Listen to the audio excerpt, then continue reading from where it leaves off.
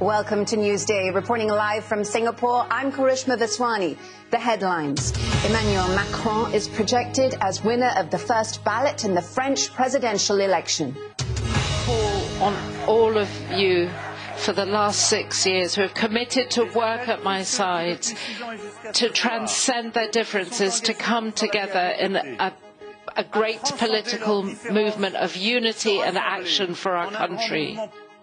I decided to, in this campaign to be free of partisan politics and to support all French and to talk directly to you. The bodies of more than 1,200 people have been found in the Kiev region of Ukraine since Russian forces left, according to Ukraine's prosecutor general. And Pakistan's newly ousted Prime Minister Imran Khan appeals to his supporters to protest against his removal from power. Live from our studio in Singapore.